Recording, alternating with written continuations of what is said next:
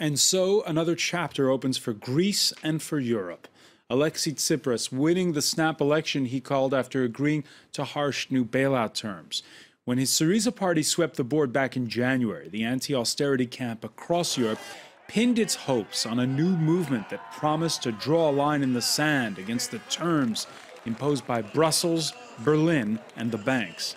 In the end, after some high drama came compromise. Thus, Tsipras lost a few comrades along the way, but won over some new voters who still see him as the only alternative to Greece's patronage politics of old. But did he get a better deal? What have we learned from the past nine months, particularly in places like Spain and the UK, where the hard left are on the rise, or here in France or Northern Europe, where the far right also hopes to cash in on the frustrations of voters? Today in the France 24 debate, we're looking at the new Tsipras. And with us from Athens, economist Yanis uh, Koutsomitis. Many thanks for joining us again here in the France 24 debate. Thank you for having me. Also joining us Thank here in the studio. Francesco Saraceno, Assistant uh, Director of uh, the OFCE. Tell us what the OFCE is. It's a think tank associated with Sciences Po that With- deals with macroeconomic policy, With the mostly with a European focus. Uh, we're also pleased to, to welcome uh, political and communications consultant uh, Pierre Jérôme Hénin. Of, now, do we say, do we pronounce it the French way, Media Neuf, or is it Media Nine? What Media 9 and Media 9 if you want also. Both work. All right. And uh, all, as well, uh, he's a German entrepreneur who works here in Paris. Jakob Hasser, welcome back to the show. Uh, the uh, France 24 debate, where you can join the conversation on Facebook and Twitter, our hashtag F24debate. Five elections in six years for the Greeks, and there's noticeably less drama, at least on the surface, uh, than last time around. Uh, the new coalition, okay, it's got slightly fewer seats in parliament, 156 out of 300. That's compared to 162 in the previous parliament, so the, a thinner margin. Uh, the same alliance between Syriza and the right wing nationalist independent Greeks, much to the chagrin of uh, the center right, uh, after polls predicted that New Democracy had been running neck and neck. We faced a tough and difficult fight. And today I feel vindicated because the Greek people gave a clear mandate to us to continue our battle in and outside the country to raise our people's dignity. I'm really afraid that Mr. Tsipras is not in a position and will not be in a position to guarantee the unity of his government and of his uh, majority. And this is uh, a, a, reason. Uh, which uh, leads us to think that we have to be in a broad coalition. Yanis Koutsomitis, uh, uh, two questions. First of all, uh, with this coalition government we're going to get come Wednesday, is it going to be a lot of familiar faces? And do you agree with uh, the statements we heard from that member of parliament from New Democracy that a grand coalition would have been better all around? Well, uh, we expect to have uh, almost uh, the same faces in the new government with a few changes. Uh, it's been uh, talk in town that uh, former uh, finance minister Mr. Tsakalotos will be in uh, the government in the finance uh, ministry, and also the former economy minister Mr. Stathakis will be at the same ministry. Uh, what is uh, interesting now is uh, we have a new landscape in Greece. We have all major pro-European parties supporting the bailout agreement, in uh, contrast to the January elections where both Syriza and the independent Greeks were against the bailout.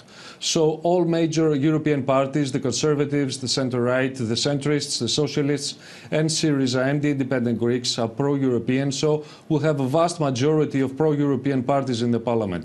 The problem is uh, now in nuances. There will have to be new reform bills uh, passed through the parliament in the next six to seven weeks. And uh, there will be harsh measures there. There will be the reform for the pensions, reform for the labor law, uh, liberalization of markets, and uh, privatizations. So all these issues will have to be negotiated with the Troika in the next few weeks and passed through the parliament. So it would be better, of course, to have a large major- majority, but uh, in any case, I think these bills will pass and uh, Greece uh, can face the first review of the Troika at the end of October. Uh, all that laundry list you just mentioned of harsh uh, reforms that are going to have to be implemented. This sounds exactly like the stuff that Alexis Tsipras ran against back in January. Exactly, but now we have a new uh, economic constellation of uh, the situation. Right now, Greece is cut off completely from the markets. Uh, it can only obtain finance uh, from its creditors. So it has no negotiating basis. And Mr. Tsipras knows, and he has acknowledged that during the pre-election period. He said that I could not do anything else unless uh, I would uh, negotiate with, with the creditors and come to this agreement because otherwise Greece would fall into the abyss and it would be a very bad situation for Greece. Now, he's acknowledged that there's no other way out of a bailout agreement with the creditors. This is why the uh, radical left wing of his party left and made their uh, splinter party, which failed to come into parliament. Failed to come into parliament, Francesco Saraceno. Yes, I mean, this, I think uh, this is a very clear signal that the Greek people have, uh, have sent to to their politicians in the sense that they uh, clearly said that you can be against uh, the current uh, European policies and yet be in a European framework. We were discussing that actually before coming into the show. It's a, it's a very strong signal that is sent, and it goes but to a lot of people inside his own party saying he was a sellout by, by agreeing to the bailout terms. Well, it turns out not, not that many actually, because because uh, the Greek people understood that he fought as hard as he could, and the, uh, the, the, agreement he got was the best he could get. And I would also I would like to add that it's what he got in July is not exactly what was proposed to Greece in, in January. In some sense, it's true that the austerity measures he had to agree, let's call it had to agree, actually was forced to agree in uh, July, otherwise Greece would have kick, been, been, kicked out of the euro, uh, came together with two things that Tsipras really needed at the time and really needs now and that could change the landscape in the next uh, few months or years, which are some money, because he got uh, more money than what he needs to repay. So he will have some money to spend to try to put forward its own political agenda domestically. And he got time because the new bailout package is a three-year package, meaning that for the next three years he will have to he will be able to actually do what he was planning to do without having to go back and forth from Brussels to ask money to the creditors. So he lost. He clearly lost because the Tsipras of July is, and of September is not the Tsipras of June. But uh, I think he showed also some realism, and he will try to push forward his agenda within the new framework, which is the framework that was imposed upon him. Jakob Hessler, uh, this uh, Tsipras too, uh, is he going to be radically different now? Is he going to be, well, just another center left leader? Well, I don't know whether it's the question of being different. I, I would, I think I agree with Francesco on that one. I think he tried hard and he realized in a dramatic, and I remember we did talk about this here, in a dramatic game of chicken where nobody flinched until the very last second, he then caved in and prevented probably a major disaster from happening. And so the question is can he change the terms and he already started? Because when you look at as soon as they signed the first bailout agreement about two three weeks later at the first creditor meeting they prolonged the repayment period. They sweetened the toughness of the european measures which were in part also needed so that my fellow germans didn't jump out of the window and felt that they had scored a real victory over the lazy soi-disant lazy greeks which they the Germans like to feel so righteous about. So I think it's a very it's a complex situation. I think to me the most important thing is, is that there's a clear majority, and that Tsipras is not in the opposition. I personally am like Martin Schulz. I'm very unhappy about the choice of this uh, very right-wing coalition partner when he could have had someone slightly more amenable. But then. Let, us let, listen to him. Yeah. Uh, the, uh, the president of the uh, European Parliament in Paris this Monday German Social Democrat Martin Schulz. What Tsipras did this year was really a masterpiece of political strategy. He resigns to be re-elected. It's politically and strategically something that you have to admire, honestly. But after the force of his exit, this renewed mandate with this far right populist party, that I don't understand. Pierre Jérôme do you understand it? Yes, I do understand, and I must say that uh, yesterday's results were quite um, interesting to analyze uh, both the election in itself and what it means for Greece and Europe. And I quite agree with what Martin Schulz just said this morning on a French radio. Yes, uh, Tsipras won his bet. Uh, it was a huge bet. Um, depending on what side Do you think it was a bad idea to again go into coalition No. with, with the independent Greeks? What I think is that uh, Tsipras twice called the Greeks to vote this year, which is quite exceptional for a politician. And depending on what side you are, you can say that the Greeks are tired of voting, so they voted for not the best one, but the least worst one. Or they can say, you can also say that they are resigned. I don't believe so. I think that uh, he got elected. It was quite a brilliant maneuver, as uh, uh, Martin Schulz just said it. Now they have a government for four years, at least let's hope that it'll be for four years. But the very strong message that was sent to all of us yesterday, as far as I see things, is a European message.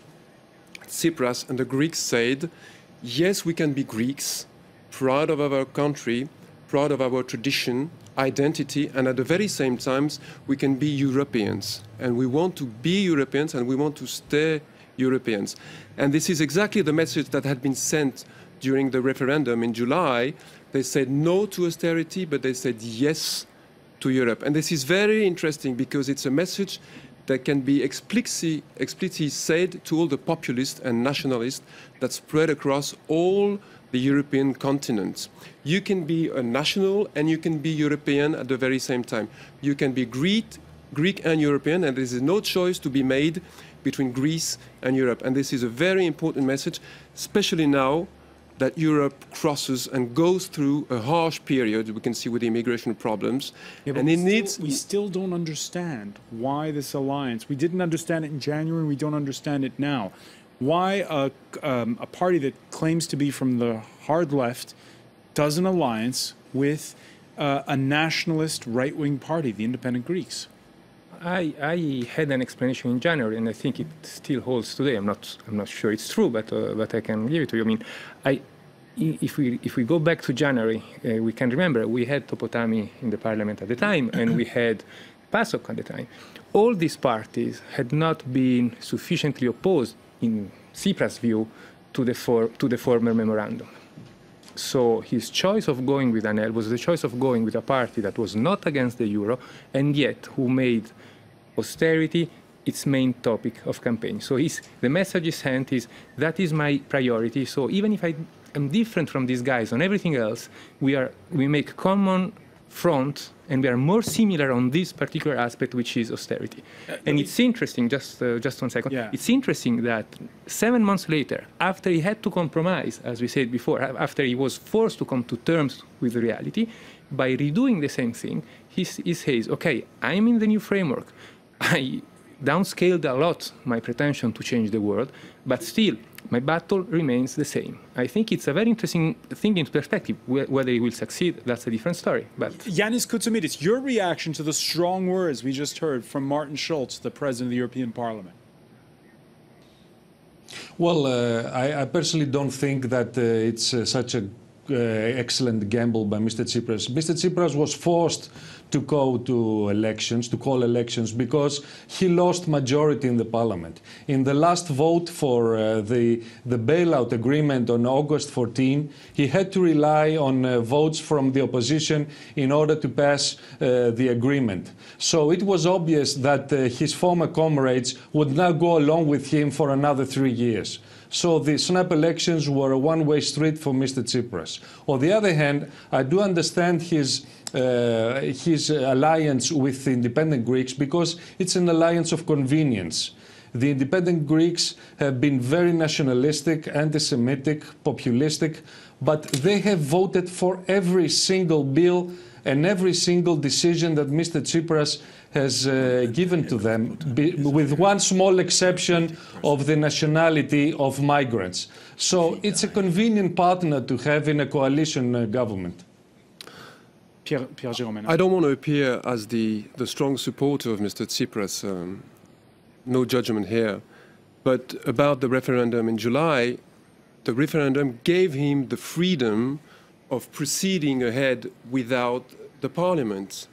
And you will never be able to blame a politician that asks the people to vote and who is helped by his people with a vast majority of 61%. So it was a brilliant move. Jakob Hessler. I thought about this right wing thing. I think there's another explanation, a rival one or maybe a complementary one, which is that the leader of Potami is actually a rather charismatic news, former television news person. And so there's also a question of blurring the central figure potentially that Tsipras represents or wants to represent. Uh, there would have been someone much more media savvy, uh, visible if he had into a coalition with them rather than with someone who's so far away from him that there's no danger of any contagion or media uh, presence that he would lose. Yanis Koutsomitis, uh, we were talking about this now, what's ahead, this third bailout plan. Uh, the Greeks have been through so much since 2007. Are they ready for more when it comes to higher taxes, more privatizations? It's a, it's a very difficult moment for Greece because we're in the middle of a recession right now. The capital controls have uh, put a lot of uh, weight and damage on the economy, and uh, there are no uh, new jobs being created. Unemployment is rising. So raising taxes right now is a big, big problem for the Greek economy and the Greek people. On the other hand, that was a decision by the government to have to close the fiscal gap that has to be closed in order to reach an agreement with the creditors. Right now, what has to be done is to the banks need to be recapitalized as soon as possible so that capital controls be lifted and the real economy gets fresh cash, fresh liquidity in order to create new business and new jobs. But it will be a very tough th uh, three months for the Greek people ahead. Ca capital controls. Just tell us, Yanis, uh, uh, what's the maximum you can withdraw from a cash machine right now? It's still 60 euros as it has been from July, the same amount. All right. When we come back, we're going to see how uh, this is going to impact the rest of Europe, the result of Sunday night's vote. You're watching the France 24 debate.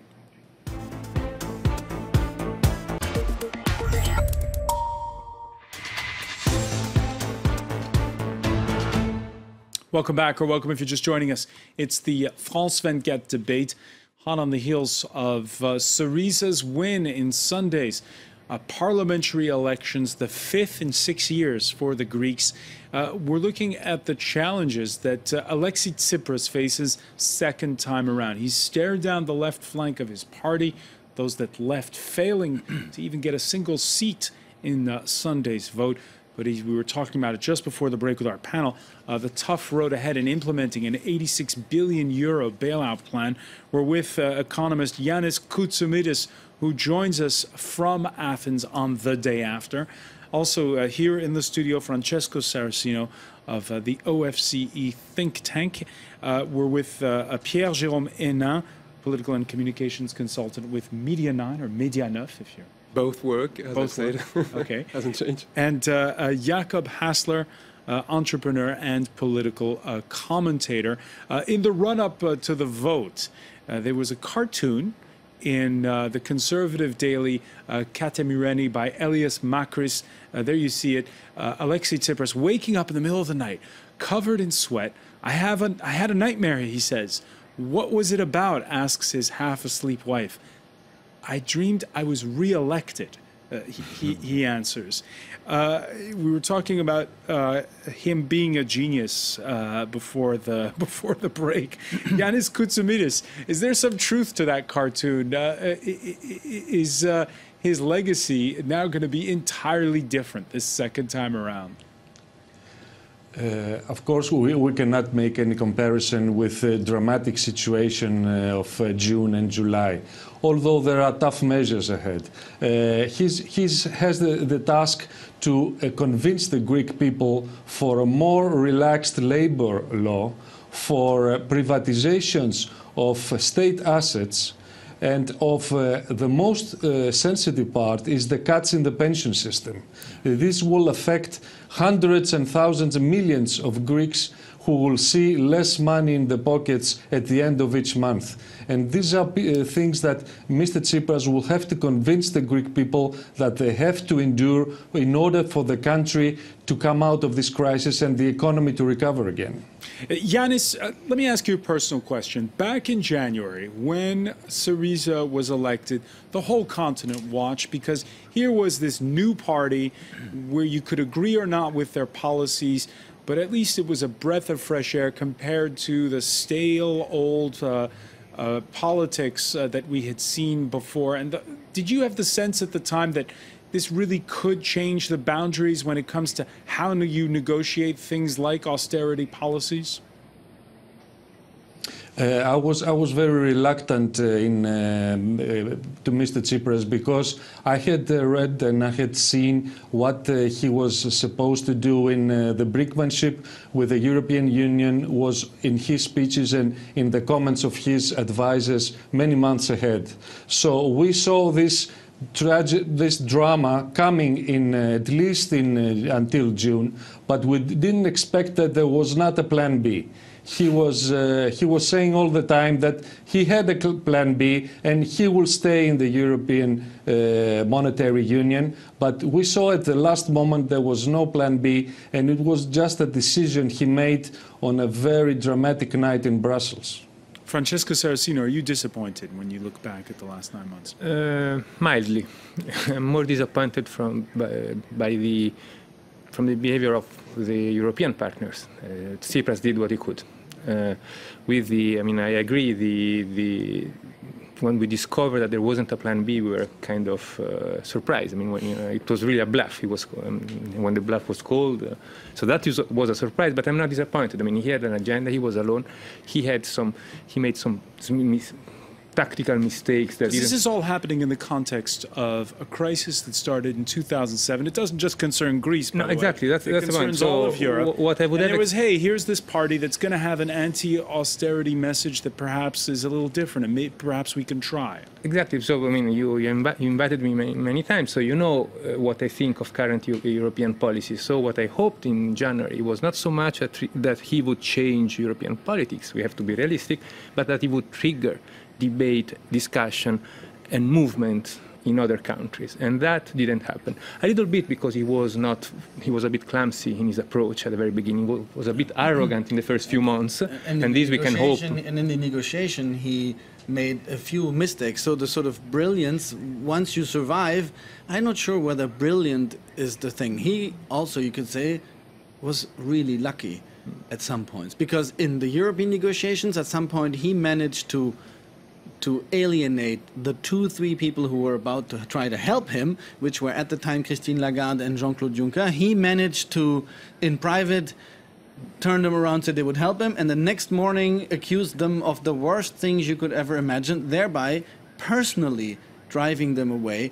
And now you can say, with hindsight, maybe it was right, but it was a huge gamble, and he probably could have gotten the same but result with slightly yeah. less. But it wasn't drama. just, and by the way, it wasn't just the the Germans showing him tough love. It was, and this was surprising, the countries that had to take their medicine, like Spain, Portugal, Italy, uh, were also uh, showing it seems that, that is that is that, that's exactly a point. I mean, he made mistakes. I agree with you. He alienated potential allies. Uh, it remains the fact that there was an opportunity to be seized, and I'm thinking of the two largest. Could he have built a coalition with southern European countries? I'm thinking of France and Italy actually, and France and, and Italy moved too late and too little. So Hollande and Renzi were somehow uh, crucial in not having the, the, the, the, disaster happen in July, but they should have moved earlier and tried to bro- broker a different compromise. So the, the big disappointment for me is that there was no nobody in Europe ready to take the witness and to help Tsipras, also by checking some of his arrogant behaviors and keeping them down. And that was that was the big disappointment. He did what he could. Pierre Jérôme Hénin, are you, I- are you are you disappointed in France in the way they, they reacted to this crisis? No, well, I, I just want to bounce back on what you just said um, about the fact that no one, no other country would help Greece at a time when it, when it needed help. It raises a very important issue. Uh, what is this European project today? What do we want to do together?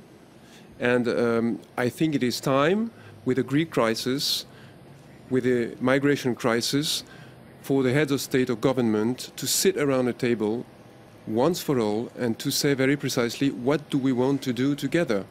What is the European project? There's a lack of political will which is extremely bad for the European construction. The second thing I wanted to say um, is that Mr. Tsipras now, as it has been stated from Athens, uh, will be judged on his ability and the ability of his government to implement the reforms that are dramatically needed in Greece, thinking about the tax reforms, thinking about the labor market reform, thinking about uh, the land register, etc., etc. Uh, on, this point, uh, Jakob Hessler, um, the, uh, the the Greek Prime Minister, he didn't have um, a, a lot of friends before. Is he going to have more now? Well, I don't know if politics is a matter of friends. Um, I think it's that's maybe an idealistic view. I think he should, as any politician who has a large majority or a significant majority behind him, should be respected by saying this is a democracy. He has an agenda. He set out what he's going to do. So we need to respect and expect that he'll do what he set out he was going to do.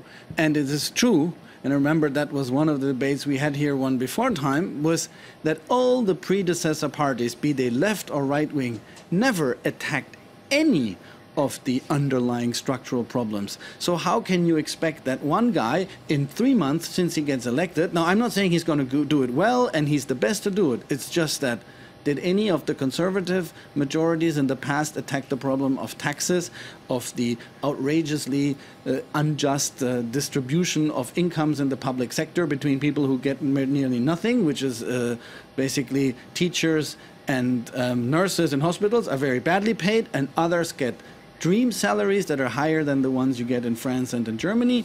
All these things were known for 10, 15, 20 years. Everyone knew it. We knew it, and Europe never did anything.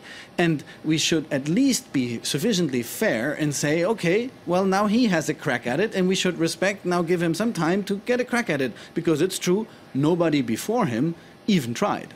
Yanis, I mean, Kouts- of Yanis how far is he going to go on this? Well, uh, we really have to see because he hasn't been very open in the pre-election period on which parts of the bailout agreement he wants to renegotiate or to revise. He said he wants to have a parallel social program that will offset the negative side of the bailout uh, agreement. But to, to come to your previous discussion, Mr. Tsipras, despite, uh, although he did attack the austerity since January, he wasn't very keen in implementing reforms that would make the Greek economy more competitive. He was very reluctant in uh, uh, making the, the public sector more uh, efficient. He was very reluctant in any privatizations. Like any- so everyone. we have to see if he's now ready to go in a new path. But we've seen a different Mr. Tsipras since the July 13 agreement. Uh, I, I remember that between July 13 and August 14, when we had the agreement for the bailout, there were fast and very efficient negotiations between the, the, the finance minister, Mr. Tsakalotos, and the Troika. So I think it's a matter of political will. If Mr. Tsipras wants to push ahead with serious reforms, I think he can do it. All right, back in July, when uh, the the Greeks organized that referendum we were talking about, uh, we we looked at uh, the criticism that came from the rest of the continent. In Germany, some of the harshest criticism came not from the conservative chancellor or her finance minister, But, and this surprised some at the time, from junior coalition partner Sigmar Gabriel, he's the leader of the Social Democrats. He's a loose cannon.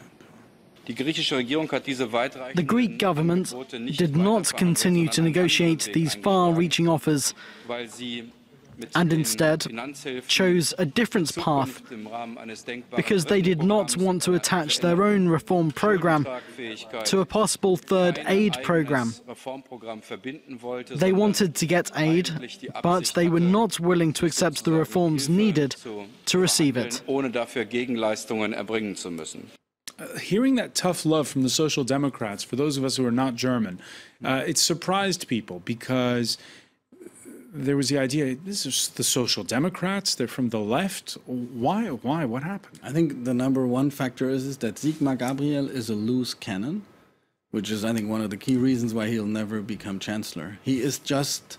He acts too much out of the spur of the moment, and then. So his views are not that of his party, or I well, I don't think they reflect necessarily the view of the majority of the people in his party. Now, in the broader scheme, the Germans overall are much, much more skeptical, helped by quality newspapers like Bild Zeitung. They have really learned how terribly bad people uh, the Greeks are. And, and, I, and I said it before, I think the Germans have this obsession with this debt and the notion of debt that is the same word as guilt. They are obsessed that if you have a debt, if you have a guilt, you have to pay for it.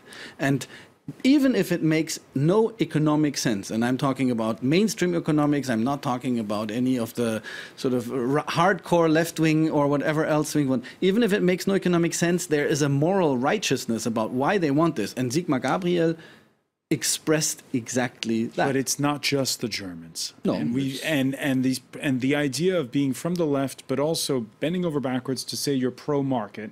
Uh, that's that's throughout Northern Europe to go back to what you just said, and you mentioned Bild, uh, the newspaper, uh, politicians will never win against their public opinion. And remember what were the polls, what were the polls saying about uh, the Greek situation in Germany. Yeah. So this is also a part of an explanation why Sigmar Gabriel said uh, such thing. To go back to, to Tsipras, you said, should he be respected? Of course he should be respected, and we're not talking from one friend to the other he was he went three times for the elections, two general elections, one referendum. Just for that, he should be respected, and he's the guy the others are going to have to talk to for the next four years. But his shift to the center left, this is the interesting bit. There was a column in the Financial Times by Wolfgang Munchauer. He said the only Keynesian party in Germany today is Die Linke, which derives from the former communists of East Germany. In Italy and France, the Keynesians are on the extreme left and the extreme right. Would center left parties do better if they shifted back to the left? Francesco Saraceno. Yes, I mean, this, this is exactly what uh, I think makes the strength of Tsipras and, and what I said when we began the, our conversation. Uh, it seems that there is a real demand for radical left, where radical, in fact, means just social democrat, because the so called moderate left in France, in Italy, in Germany, in all the major countries, in, in, in, Spain, has become so close to the center. And this was the point Munchau was making this morning on the Financial Times. I, I actually made it on my blog when Syriza was elected. He's not a radical. If you look at his platform, that's a Keynesian platform that would have been mildly social democrat in the 70s and 80s. Hmm? So uh, the, this shift of the traditional left towards the center made room for a radical left that is in fact not so radical that can go back and take some of the keywords of uh, the, the, traditional left uh, equality uh, efficient government intervention and they underline the word efficient and we go back to greece which is far from being efficient and so on and so forth and by the way you were not so fair with one of the governments that uh, that uh, preceded Tsipras, which is George Papandreou, because Papandreou yes, actually yeah, tried yeah, to do and he got very similar things to what Tsipras did, and he was busted with, the, with the help of Mrs. Merkel and Mr. Sarkozy, who basically dropped him in the hands of Venizelos. And so, uh, all right, but th- but to get to this crisis here, uh, we have uh, this uh, sort in Britain. We had New Labour, and we've seen it uh, pushed out uh, 10 days ago uh, with uh, the election of Jeremy Corbyn, an old school socialist. Uh, here in France, we have the Socialist Party, which is in the doldrums if you look at the polls. Um, the, the center left, one of the big criticisms, Yannis Koutsomitis, is that when this financial crisis hit in 2007, 2008, the center left was unable to tack anything other than this new labor like stance. Do you agree? Well, uh, there is some uh, good argument there, but I have to, to point out that you can be as radical as you want as long as the bond markets uh, leave you space to become radical because we see now in many uh, countries of the euro periphery that they can maintain a stable fiscal environment as long as the ECB is uh, going into the QE and there is the, the decision of uh, Mr. Draghi of 2012 for the OMT that changed the whole uh, atmosphere in uh, the euro crisis. So we have to keep in our minds that we can attack austerity as much as we want, but the markets are out there and if we are not uh, fiscally sound and uh, we ha don't have a credibility in our fiscal system, then the new crisis could arise. So it's a tricky So you're saying, Yannis, that uh, elected officials, you're saying elected officials, uh, at the end of the day, they don't have the final say. The man with the final say is uh, no. the uh, the president of the European Central Bank in Frankfurt. No. Uh, when you don't, when you cannot control uh, the the finances of your state and you have a big deficit and you need to refinance your debt every year with hundreds of billions of euros, then you have to have a sound system, a sound fiscal system that can maintain this pace of refinancing. I'm not saying that austerity is good, but uh, the credibility, I think, has to be there in order to maintain a more sound fiscal system. What, what I think is, uh, and, and that's I think where I don't know whether we disagree, but where I think austerity we're confusing austerity as a macroeconomic concept or the absence of one with the fact that many countries like France have archaic systems and structures that prevent it from growth. And I think where we yeah, are. come on, Jakob. I know, yeah, but 2007 8, we have this huge financial crisis. Yeah, but the Instead problem, of nationalizing banks, they they bail them out. Yeah, but we're, we're not. Yeah, but nationalizing banks doesn't solve the problem of creating it, jobs. Jobs are created by entrepreneurs and by companies that have access to money, that have access to skilled labor that they can employ under contracts that are fair between the people who work and the people who employ them, and that they have structures in which they don't pay for so for services that are not needed, where they don't pay for a part of the government that, that, that is not needed. And all these things are not linked directly to austerity, which is that in a time of crisis, you just screw all that you tighten all the screws so much that you choke the economy which if you go back to greece where uh, now you have a tax increase of vat at the same time somebody is dreaming or trying to revive the economy. That is just macroeconomically nonsense. Even if you're for or against see, see, see what i mean? You can be a very pro business person and say we need a sound public financial system, and I think we need that, and still be against austerity in the way it's implemented today, because it's just a narrow minded way of choking the economy, and that can be in no one's interest. Francesco Saraceno? We come to a surprise to you, but I tend to agree with him. it's no, I, I, I, totally agree. I mean, there is this mix, which is the really little uh, cocktail that we had in Europe since 2010, that austerity and structural reform proceeded together. The result was that by choking the economy, we made, where they were implemented, reforms ineffective. Hmm? Uh, I remember a very great paper. Uh, I asked my students to read it every time. It was written back in 2013 by the uh, Turkish economist uh, Dani Rodrik, yes. who said sequencing is crucial. Sequencing in reforms is, is crucial. Structural reforms in bad time kill the economy and fail structural reforms in good times have a problem of having the incentive for governments to do them, because of course in good time you have a problem of incentives, but they're more effective. Now, if you have a problem implementing the structural reform in good times, the solution that was found so far is you implement it in bad time. That was the wrong solution. You have to, to find ways to implement them in good times, to put in place the incentive for governments to do that at the right moment. Doing a good policy at the, at the wrong moment is just plain stupid. All right, that Sorry is, the- we're, we're going to leave it there. Fran- Francesco Saraceno, the earpiece falling out is, I guess, our cue. Many thanks. I want to thank Jakob Hessler. I also want to thank Pierre Jérôme Ménard, also uh, Yannis Koutsomitis for being with us from Athens. Stay with us. Our Media Watch segment is next.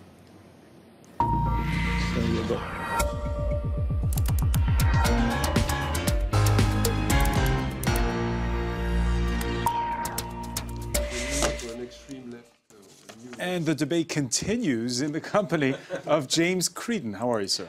Very well, Francois. Just a quick look at the Greek uh, papers and the editorials this morning, uh, which seem to be pretty much in favour of the uh, the result of the election. Avgi, which is a left-leaning daily, uh, now let's get down to work was the, the headline. This is the website, but the headline of the paper this morning was that the winner of this election is the people which prevented a return to the recent impasse and managed to hold on to hope. So it all seems a little bit, you know, words being bandied around, not, not really debate, not really debating the, the actual policies, but uh, hopeful sort of rhetoric. The losers are those who wanted to reduce Tsipras's government to a parenthesis, uh, those whose interests are in maintaining corruption and economic bankruptcy. Meanwhile, uh, E. Tipos, uh, their headline this morning was This is the last chance for the country and for Tsipras. Uh, the centre right daily Kathimerini it says uh, that the train line has now been set, and from today, Mr. Tsipras will be driving that train along a track that has already been predetermined, but that there will almost certainly be further challenges within Parliament and within Greek society, uh, and the prospect of a Grexit will once again have to be confronted. Uh, meanwhile, Ta Nea says there is saying that this is the Tsipras era. Uh, it's a personal triumph for him. He's a fine tactician. His talent also when it comes to defining a longer strong term strategy is is uh, is there to see and they speak about an electorate that is tired with there was no excessive enthusiasm uh, but it decided to give him a second chance and just finally um, To Vima uh, they say that voters showed in a clear manner that in their eyes Mr Tsipras uh, has their uh, is expressing their interests and that he has their trust. He can go forward to govern with determination and efficiency. So it, a lot of it just seems to be confirming uh, that uh, there's there is a degree of fatigue and that people seem to think that Tsipras is the best. And interesting option. your, the point you make about how uh, a Gre- Grexit or no Grexit is not off the table. Uh, Pierre Jérôme Ménard, uh, it's something that will have to be confronted again, perhaps uh, down the line if if things don't go well. We didn't talk about it, but 500,000 people in this election voted for a neo-Nazi party, uh, which got seven percent. Golden Dawn. I don't think and I don't hope that the Grexit will come back on the table. And I especially don't think so because coming back to what we said earlier, I think that the Greek people have sent a very strong European message once again yesterday. And they clearly said, we want to be Greeks, we are proud of being Greeks, but we also want to remain Europeans, we want to stay in the Eurozone. So I don't think that the Grexit issue will come back on the table, and I certainly do not hope so. Ja- Jakob Hasser, you agree? I agree. And it's a good day for Europe? I think it's a good day for Europe, yes. And it's a good day against all, once again, populism Populism, and yes. nationalism. We have a strong answer to give to them. You can remain a national and still at the very same time be European. What better answer could we have? All right, I want to thank our panel. Thank you, James, as well. And thank you for joining us here for the France 24 debate.